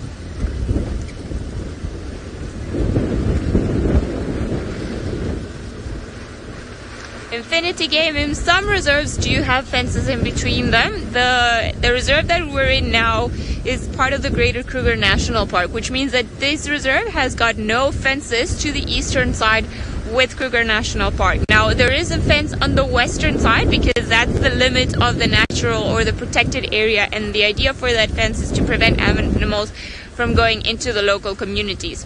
But it's just the most western boundary and we are, or the Sabi Sand is the southern, almost the southern part, central part of the Kruger National Park. And then there's another massive reserve more towards the north, which is the Timbavati Klaserie, which also form part of the Greater Kruger National Park. And there's a boundary in between the the main roads and again the um, human settlements, but there are no fences in between all the different smaller reserves that make up each one of these individual reserves. Now, Ferg, I think we have found all of the Impala. right, I'm gonna move across a little bit like this. This is probably, and that's a, that, pardon, sorry, I got excited because there's a tiny, tiny baby waterbuck right here. Is that fine? Okay, sorry. I'm still learning my way. I'm gonna get my head out of the way because there's a tiny, tiny baby waterbuck. It seems like today is the day of the little things. You are just the smallest waterbuck I've seen so incredibly cute. This is a brand new one. I haven't seen this one before. And well, this morning we spent a lot of time with a lot of waterbuck that were around here with some youngsters. So what I think has been happening is this one has been hiding in the long grass. The mother has probably not brought it down here before. And now that it's a little bit older, then this is why she's finally brought it onto this area. I'm surprised there aren't any other waterbuck in just the male, but maybe they've gone somewhere foraging or they're somewhere at the under, other end of the open area. Whew, you can see it's not, it doesn't have its gray color just yet. It's still of a, of a tawny color, almost looks like a little impala. Yeah, Chris is saying it looks so fuzzy all the way from FC. And I agree with you. I feel like I, I want a baby waterbuck as a pet. It would be the best thing. Although it would probably kill Tristan because baby waterbucks carry a lot of ticks or just waterbuck in, in general. But that is the sweetest face. Look at that. And just in terms of heights, I would say that's what? 45 centimeters tall, Ferg? Do you agree with that? Maybe a little bit more? 50? Yeah, I think about 50. So very small, probably the size of a medium to, yeah, medium sized dog, I would say. Oh, so cute. And it's already got its white ring around its rump. a tiny little target. Maybe that's what we should call him. We should call him Target. Just because this is a little one. Very cute. Jenny, a mini target but you say. I agree with you. That's a, that we should call it mini target. It's very pretty. Very, very pretty. Oh, I wish there were more. Because then we would see what they get up to and how they play. Now, you see they're all surrounded by impala. And like I said earlier, I think we have found all of the impala in the Sabi Sand. They're probably in this massive open area. Now it can go both ways sometimes with impala. They'll come into these areas because they can see far away and they are very protected over here because there's no predator that's going to be able to to approach them without them noticing. But part of the issue is also that because there's a lot of wind, the temperature starts dropping, so they're going to start getting cold. So they might have to then retreat back into an area that's a little bit more sheltered just to be able to maintain certain body heat. Although they all seem to be eating the grass, so I'm sure that's going to help them metabolize and just keep a certain temperature. Hmm, you can hear the wind is howling. Ooh, that is that is the cutest little baby water buck and all of the baby impala they seem to have grown fairly fast. I've only seen a few every now and again that have that uh, that small baby look to them still. Most of them seem that they've gone onto the the sub-adult phase. Oh, so pretty. Hi guys. All of you. Eating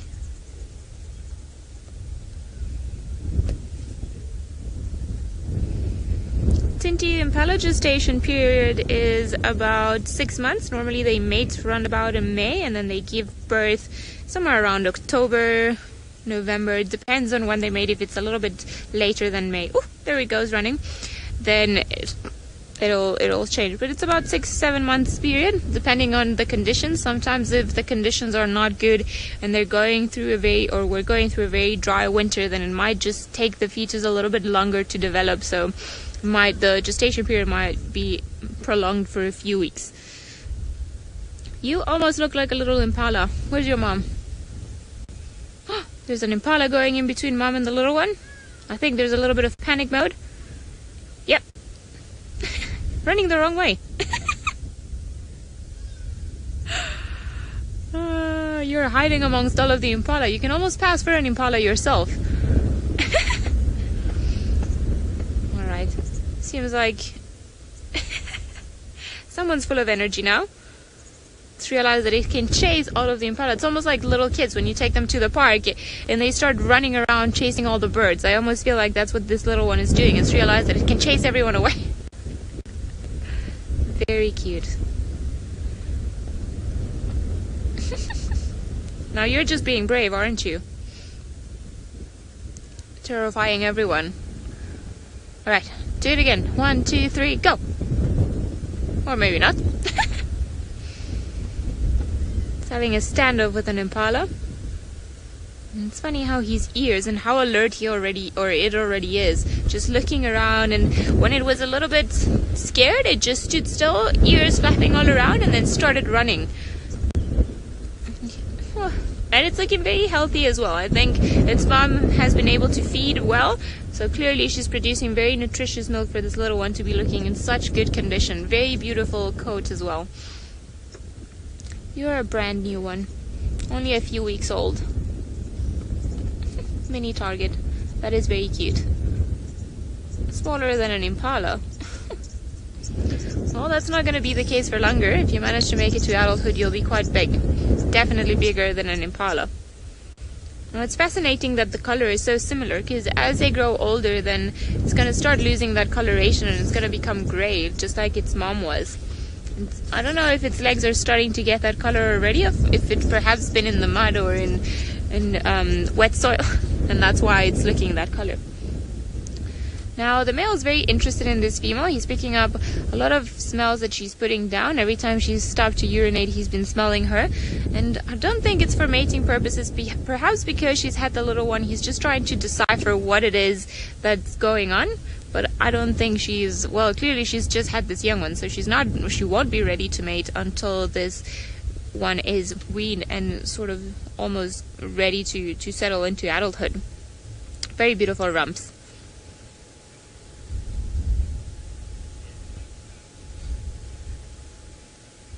Cool breeze. Um, impala and waterbuck can eat the same plants. Um, waterbuck tend to be a little bit picky about the grass that they eat. So it's it's a lot of studies suggest that they prefer grass that's very high in protein, and they've got to be around water a lot to just be able for the or they've got to drink a lot of water because of the type of grass that they eat. So they're often found around these areas, very close to water. Now impala, they're they're very adaptable creatures, so they can feed on, on many different plants, and though they're considered mixed feeders, they won't only eat the grass, but they will also eat the, the leaves of the trees and fruits here and there.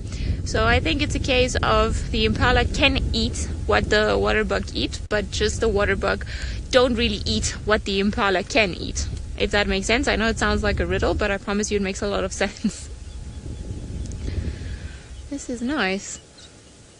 Seems like Chitwa Dam has been nice and sheltered. We're to carry on exploring, see who else we can find down here, perhaps another baby. But while we do that, let's head back to Byron, who's rejoined the lions. I have, I have, and we have some heads up at the moment. So I'd followed up on those guinea fowl alarm call. There was a predator around, just not one with rosettes. It was a Wahlberg's eagle. Um, so those guinea fowl obviously would be nervous of the Wahlbergs. The Wahlbergs do do catch and hunt birds, um, and that's what it was. And as we got there, the Wahlbergs flew off. But um, but it just shows you those guinea fowl. Their alarm calls when that a whole group of them alarm call like that. There's definitely something there. It could be a bird of prey. It could be a snake. And it could also be a leopard. So that's why we went to go and have a look. But it was a Wahlberg's eagle. Anyway, I'm hoping that now we've come back, the temperature's dropped quite a bit. It feels quite chilly at the moment. So I'm hoping these lions decide to get a bit active and move around. But I'm not sure. Joan, so no, the lions don't purr. Um, and I don't think lions are able to purr. The only big cat that can purr and that purring sound that we would uh, associate with cats. The only big cat that can do it is uh, is a cheetah. A cheetah do purr, but lions do not. Lions do not. Their voice box is slightly different, and I don't think they have the ability to purr. Too much of that cartilage and the bone in the throat that allows them to roar. Same with leopards. Leopards also do not. Uh, Ellie's got a reptile heading into the water. Sorry, let me just go forward. We do, and it's going back into the water. No! Oh, almost there, almost there. Sorry, Ferg, that was my bad we were trying to get a view of the crocodile heading back into the water because just as we saw it, it almost turned around and started heading back. And I think it's getting a little bit too cold for Vlad as well. So it's decided to go probably where it's warmer rather than stay out here in the cold breeze that's starting to come. Now we can still see its tail and its head. He's definitely standing still, and I wonder if it's perhaps there's a hippo not too far from him. The wind is definitely howling now. Such a long tail. Come on, do it again. All you have to do now is get out and then come back in, and then we'll be very happy about it. It's amazing. This morning we came here and we couldn't find traces of him, or at least I couldn't find him, but I wouldn't be surprised if he was just on the back part of the island because we didn't check here this morning. Mm, look at those teeth, so white and clean. Looks quite menacing when the teeth are exposed like that. I wouldn't really try and make my way towards any sort of um, crocodile. And it's funny because where I come from, we have also, I'm originally from South America, and there we have so many different species of crocodiles and caimans, and they're not as grumpy as the Nile crocodiles, I should say. They're very, the Nile crocodiles have a reputation of being a lot more ferocious and, and aggressive than perhaps some of the ones that we get where I'm from. And in those areas, even you can have a dam like this and get in the water with them and they will pretty much not do anything to you. Unless we're you know if it's a caiman if it's a bigger species they might have a bit of an issue. But you can swim very close to them and they won't attack them. Whereas here in south africa i would never ever dreamed of coming close to any sort of water body where there are hippos or crocodiles involved. Now i want to check if that in front of us no that is a rock not a hippo. Okay i thought it was worth checking but no, sorry, that was all me. Now let's see who else is around here. Lots of hippos. They don't seem to be all that playful today. Hello, bushbuck. How are you guys doing today? Ah, uh, baby waterbuck. Well, they could have been. They're about the right color, Ferg. no, I think the rest of the waterbuck that we saw this morning are actually on the other side of the of the dam. Those are so we've got the water buck on the right with the ring around its drum, the bush buck, the ones on the left, and then the birds on the left, those are the blacksmith plovers. And then what is the other one? Let me see properly with my binoculars. I can't really tell what it is. Hang on. Mm, I think it's just out of reach for my binoculars. But it looks like, yep, like a white-faced whistling duck, perhaps some of my favorite ducks all around. now, um, where should we go? I think we're gonna see if maybe we can find the goslings again, the the Egyptian geese goslings. But while we do that, let's head back to Byron, and I hope that it's not as windy there as it is here. Yeah, it's definitely. I, I don't think it's as windy as it is there. I know what uh, Chitwa Dam is like. Oh, we've got some yawns, so there's a bit of activity, stretching, cleaning, grooming one another. So they might we might be lucky and these lions might decide to get up. I do, however, hope that they walk this way.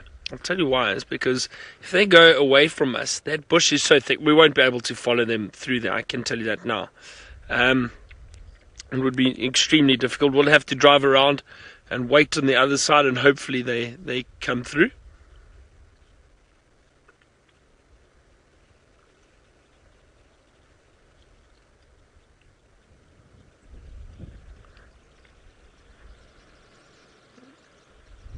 I was laughing at um, Ellie saying she'd love to have a was it a waterbuck, yeah, a young waterbuck, but Tristan would get upset. with all the ticks. Yeah, I would imagine. Couple goals in the bush, finding a pet that you both both are comfortable with.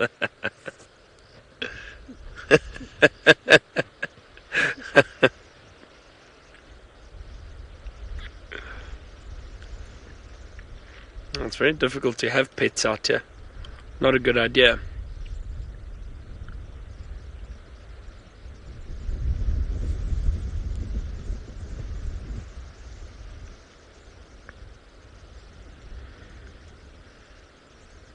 I was just thinking about Chitwa, Chitwa Dam, and um, I, I haven't been there yet on this. No, I've driven past, but I haven't spent time there. So maybe tomorrow I'm going to ask if I may be allowed to go to Chitwa.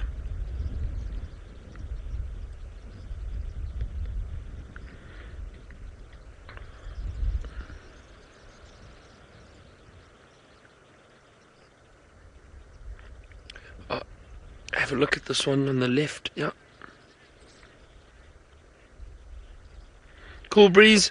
Um, the Lions, you know what? I, to be honest, I don't know how they decide it's time to go. It's just when they feel comfortable, when they feel like they've rested enough, when they feel like it's cool enough that they don't um, exert too much energy. Then they'll they'll get up and move. I just want to try and maneuver off to the side here quickly. Hold on a second. Sorry, Sims, I just want to um, try and get a view of these playful lions. But while I do that, um, Ali seems to have found uh, those goslings at Chitwa Dam. Let's go have a look.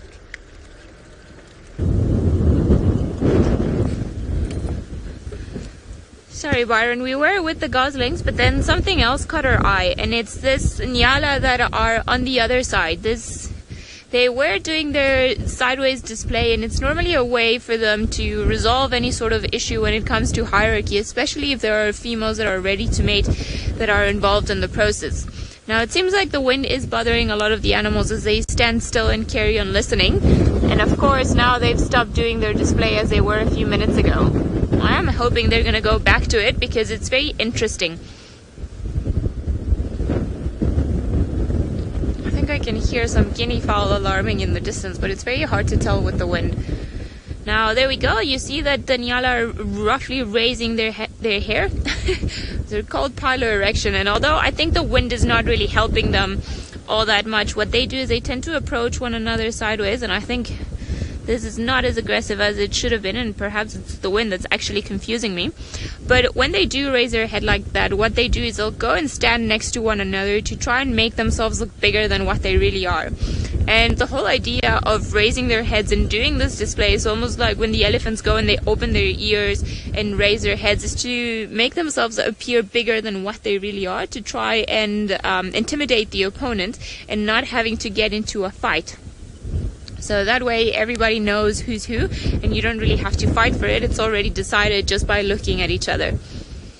Now there's a random female in the middle, so I wonder if she's perhaps the reason for all of this for all of this males being around because Nyala, yes, they can be sometimes found in the close proximity, but we, these are a lot of males. One, two, three, four, five, six males in the same area. Then there's definitely someone that's perhaps ready to mate that's attracted all these males, and that's why they're all here. And you see, they're all keeping their distance, and it's funny because they're they've just left this female in the middle.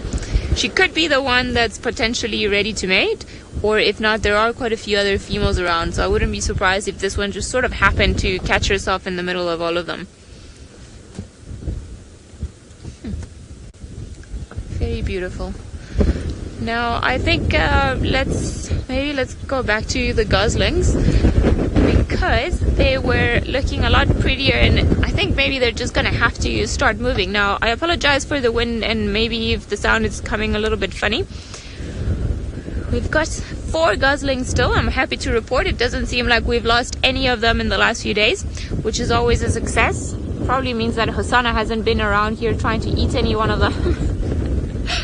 but they're all looking they're all looking good and they're looking bigger and still they've got that beautiful killer whale look to the back of them. Now these were the ones that we were looking at earlier on when Byron linked to us and they are all very fluffy and I think they're also lying very close to each other because they're probably very cold. Yeah, it's almost like they were standing on top of one another. Very cold little things. So to try and keep warm, that's often what they do. A lot of the birds they just require on body heat or the warmth that is irradiated by each one of them to keep warm. We've got the two little ones that are, have gone onto the water, perhaps the braver ones, and then the other two that seem to be the bigger ones at the back. Did you just fall while scratching your wing? I think that's exactly what happened. Yeah, um, I don't think this would be the pet that I would want though. I feel like I'm not in it to have pets. Now, all the impala are running on the dam wall, and I don't know if it's just because of the wind or if it's because there's something else that's running behind them. Earlier on, the guinea fowl were alarming, but it could have just been anything else. It could be nothing, it could be just the wind spooking them. But they're all running back into the open area.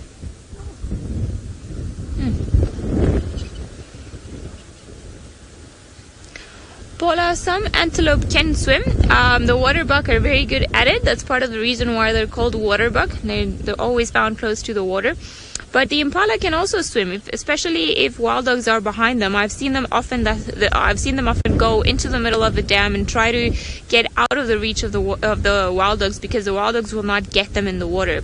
So different different antelopes are more adapted to more aquatic environment. The puku, for example, or the lechwe in Botswana are more adapted to this type of life, so that you can oh, you can see them more often than not in the water. But just to go in the water for a swim and to have fun, no, the water is more a, a, a means to an end.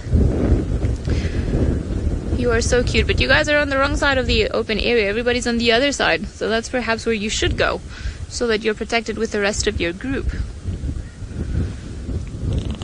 Running. I wonder if Tingana is not perhaps somewhere around here, and that's why they're all getting so spooked and running around. Hmm. so cute. You've got to run a little bit faster to keep up with your mom. Now, the open area is a very good place for them to be. As I said earlier, they can see anything coming from quite a distance. But I think there, in, in this particular time, I don't think there's anything specific that's lurking in in the, in the darkness or in between the bushes. I think it's just they can't hear very well. Probably a lot of smells are being taken away, and they just have to be a little bit more on edge just to make sure that they don't get caught unaware and then something pounces on them. Because obviously that would be, or probably would be the end of it. Hmm. I think maybe we're gonna go and explore in the direction where the water buck are facing. Let's see. Let's see if maybe some of the if Tingana is around there, if there are any tracks for him. But while we reposition and go all the way there, let's head back to Byron as it seems like the lions are starting to wake up. Well, there has been a bit of movement, and um, and these lions still cleaning one another, but heads are up. So far more movement than we found when we found them earlier on drive.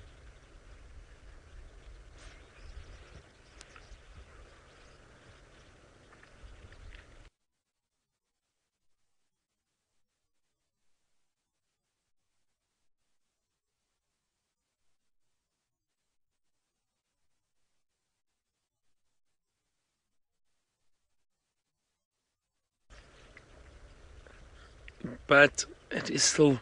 It, you know what? The best way to describe the weather is it is a bit miserable at the moment. Um, there's no other way to describe it.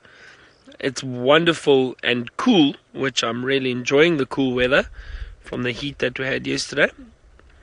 And uh, but but the the wind and that does make it a bit miserable and I think this is hot chocolate and safari live weather.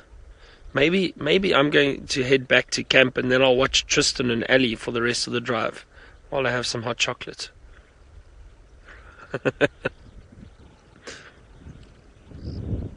what do you think, Senzo? Mm.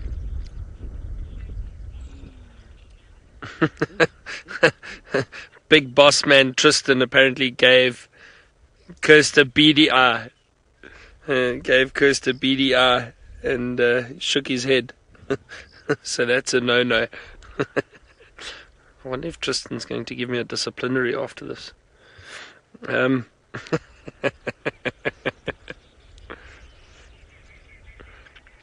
there's a little bit of playfulness on the left, Senzo. Have a look. See these young lions. Oh, there we go.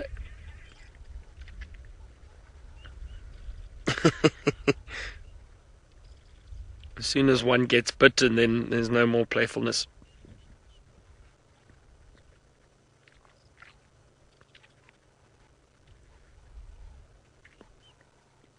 Young lions are always really great to watch because they do get very playful and they ah oh, look at that nice stretching and jump on one another, especially when the pride starts to move and they get quite active.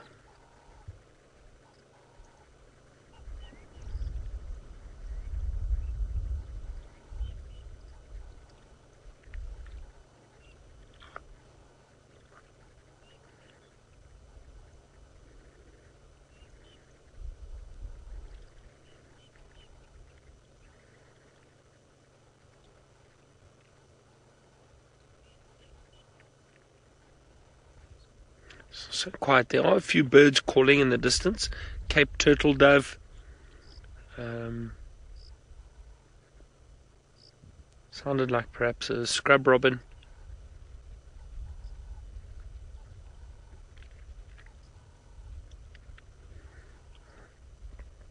So there are a few birds calling. Not seeing too many of them. I think they, they're holding on tightly in this wind. Probably well hidden. Heard some arrowmark babblers earlier too.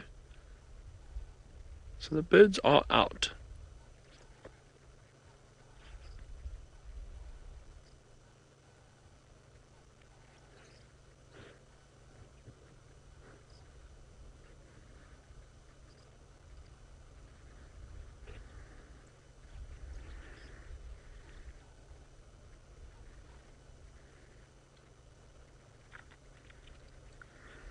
I did see that little cub, um, but it was it's hidden from us at the moment.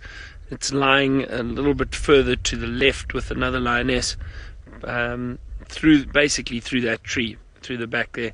That's us. I don't think you'll see it, but it's in there somewhere. Um, see a bit there. I don't know. Don't worry about it, Senzo. We'll wait and see if um, or, or when they start moving. Hopefully, get to see them.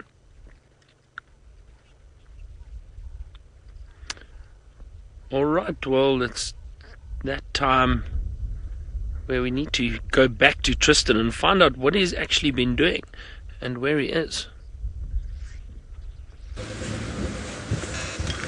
Oh, Byron, I've been sitting in FC having a hot chocolate. I thought you that's what we were going to do. You told me you were going to come and join me, but you never arrived. So I've done that. Now I'm just getting back out again just to go and see what's going on. But what I want to show you guys, I just had a thought quickly. It's going to take me a little bit of time to get there. You'll see me reversing because I want to go and show you something very cool. But we've in, in the meantime, while we kind of get there, I'll tell you what I've been up to really, because I haven't been in FC having hot chocolates, even though it sounds like a fantastic idea, Byron. I've been driving around looking for Thandi, and so far, absolutely no sign. No sign of really anything, actually. No birds, no sort of insects, just wind. That's all we've had so far, and it's been pretty miserable at the moment. Now, I believe there's lots of rain to the south of us around Johannesburg area, so I wonder if maybe that's going to come up this way at some point.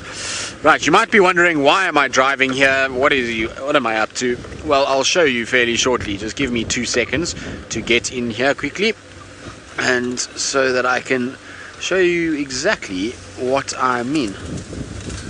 Now, there we go, Vildi. Is that close enough? So, I wanted to show you guys what happens when male lions versus leopards climb trees and how different it looks when a male lion goes onto a tree. Now, normally what we'll find is when a leopard goes onto a tree, you'll find little claw marks like these. So if you have a look where my finger is, Vildi, there's little slices like this, and this is probably from where Thandi dug in and she took a carcass up a tree. We know that then Tinyo came along and he went up this tree and you can see the difference between his claws. Look at how deep that is etched into the wood. It's gone right in. I can almost put a, my pretty much my finger inside there.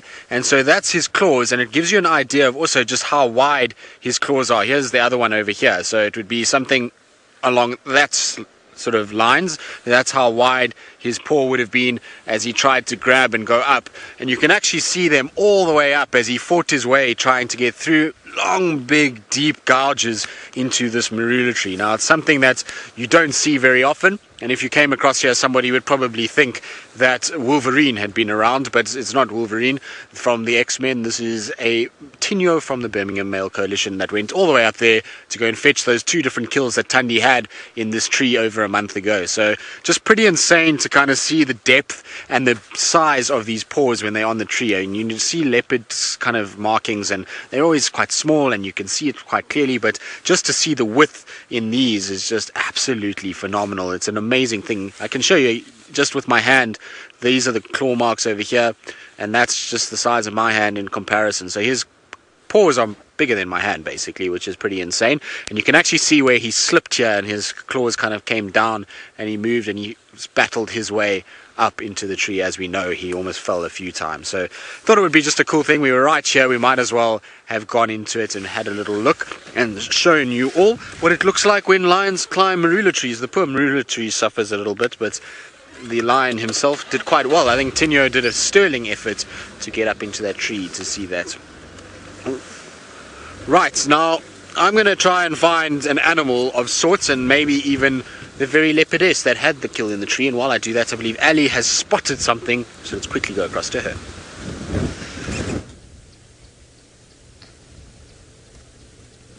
We have spotted a good old friend, Tristan. This is indeed Tingana. Now, he is not too far away from Chitwa Dam, funny enough, and I think he's being very clever. There are so many impala around here. This is probably the best spot for him to start a hunting this afternoon. Now, I wouldn't be surprised if he's done this on purpose. He's walked a certain distance from where he was. He was uh, probably the top part of the Molowanini on the Chitwa property, now he's gone pretty much towards the end. So, all in all, I would say maybe about 1k, 2k's at max. But he's now found another comfortable bush where to sleep in, and it is very cold, so I'm sure he's chosen that spot for shelter. And as the sun starts to go down, or as it gets darker, because it's already quite dark, he might try and head in the direction of all the impala and the waterbuck and Egyptian geese and all the different creatures that are at the moment seeking shelter in the open area. Very clever of you, Tingana. You know exactly where to go. And he's probably still a little bit weak. It's probably the reason why he's been hanging around a certain area and hasn't covered much of his territory. I'm sure he's just waiting to gain force again or recuperate a little bit from his illness so that he can then try and start moving around. He seems to be on the mend, and I mean, his stomach seems to be a little bit fuller than the last time I saw him, which was a few days ago. He seems to be doing a little bit better. He's still a bit on the skinny side, but it seems he's on the mend, which I'm very excited about because I've come to really enjoy Tingana's company all the way from last minute leopard to being the boy that features in the most. So I'm hoping that he's going to do well tonight. The, the stars are almost aligning for him with big storm approaching, lots of wind. So he all he has to do is just be very careful of how he approaches all the different creatures around, and he might get lucky.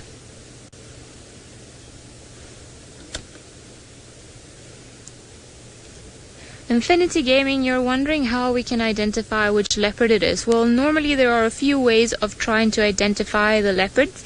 Um, you can look at their spot whisker pattern, so the spots on top, or where they're just on top of their whiskers, and that they're different for every leopard. So they'll have maybe four on one side, five on the other side, and if you can see the whole face, and you can just get an idea of the side profile. Now, in this particular case, we know that it's him because it's not too far from where we saw him in the morning, but also we saw him get up and then move around and then go back into the bushes. So the more we tend to spend time with some of the leopards, the easier it becomes to identify some of them. You can almost tell straight away. It's like, okay, I think it's this one. And if there's any doubt, then you can always use their spot pattern to be 100% sure which individual you're looking at. On this particular case, I think more than by looking at whiskers or anything else, we've gone by location, where he was the morning, where he is now. And when he got up, he's got this, this look, he's got a face.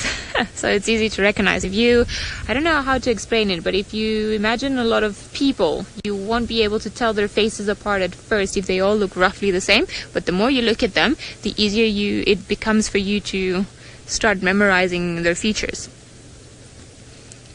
Hey boy. You're looking a little bit tired, aren't you? well, he's got a good spot underneath this bush willow. Seems like a bush willow to me. And he's lying in full, in, in a very leopard spreaded way. It's almost like, you know, he's butter on a toast or something. That's the way he spread. And it would be very hard to see him coming from the other way. We just wanted, we came onto this edge because we just wanted to check. There was a possibility of him moving not too far and we just got lucky in the fact that he was here, which is very good and because we're very happy because now we can see him and enjoy him for the afternoon which is more than what we had planned on. Was I thought he might have stayed in the area where he was in this morning, but when I heard he had moved, the possibilities of places where he could have been were pretty endless. So I think luck has been on our side a little bit, and there's always that wonderful gut feeling that sometimes tells you to turn in the right direction. And I think that's partly what led Ferg and I onto this particular spot today. I think that was it, wasn't it? Now he's sleepy, and you can see the wind is still howling. Mm, beautiful. Now it seems like Byron is still with the lions, and I'm hoping they're a little bit more active than the leopard. Well, there is a bit of movement, Ellie. There is a bit. I'm glad you got to see Tingana again. So I'm assuming he's in the same place he was this morning. And um, but you know these lions. There's every now and then one of them will stand up and move around, and then lay down, and then another one will do the same. So not a lot of movement, but uh, but their heads are they're definitely more active than the pride we saw yesterday. Oh, and I'm so. Hold on, hold on, sense. Let me try this quickly. Sorry. I'll tell you why, because the the little cub is hiding in here, but there seems to be a lot of activity from them just through here. Maybe we can get a view if I go over here. Senzo, is that alright? Can you get them through there? Let's see, let's see. Maybe we can show you a little bit of the activity from here. Some of the sub-adults. But the, the little cub is is in there, just to the left. It's hiding there. Is that it? Yeah, that's it.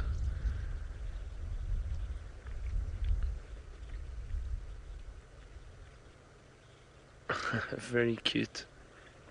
Now, earlier, one of these sub adults walked up to the cub and they were having a bit of a standoff.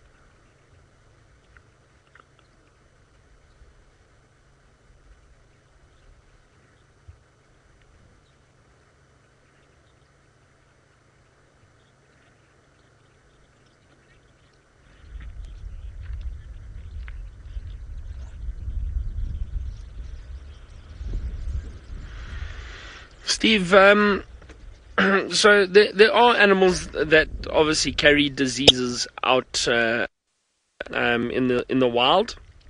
Um, not like mad cow, but um, oh, let's see. Maybe this youngster climbs into the tree, this dead tree. Sometimes they do do that. They get a bit curious and active. Um, Steve, so these lions last year they had. Uh, a disease called white muscle disease, and they got that from a food deficiency. They weren't getting, I don't think they were getting enough fat and the nutrients that they need from their food. So it causes the muscles to, to stiffen up and, and can cause the lions to die, but they managed to get through it okay. Um, and then uh, they, they, they can sometimes get um, uh, mange. So mange can occur in some of these animals, also with drought and that. Um, what else? Wild dogs get canine distemper. They sometimes pick up from. Uh, well, we don't really know how they pick it up at times. Occasionally, well, the most um, plausible cause is getting in contact with uh, feral dogs,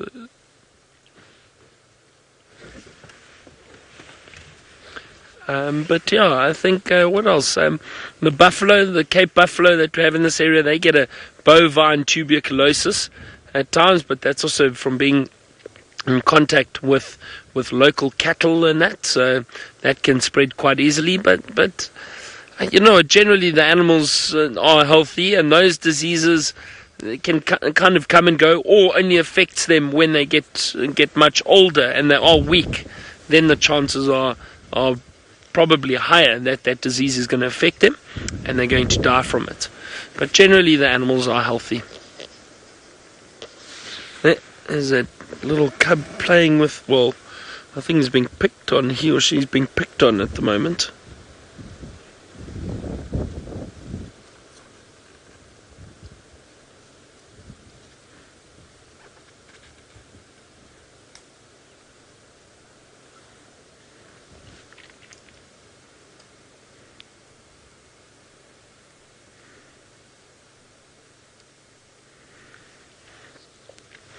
It is very peaceful sitting, watching the lions.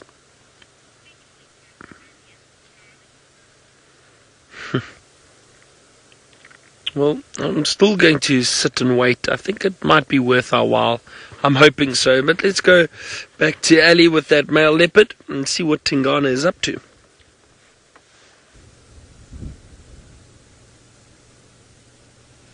Right, Tingana has not moved all that much, if at all whatsoever. But we're gonna keep guard here just in case he does decide to get up and start moving. It'll be nice to see him approach all of this area, and I'll be quite curious to see if he is going to try the open area and all the different prey species that are lurking in there. If he perhaps is going to try go somewhere else and try his luck in an area that's a little bit more sheltered, where he can bump into you perhaps something smaller like a duiker or steenbok or perhaps a lonely impala that's looking for some warmth out in the out in the bush. Hmm. You've had a very deep sleep, and I don't blame you. On a Sunday like today, hmm.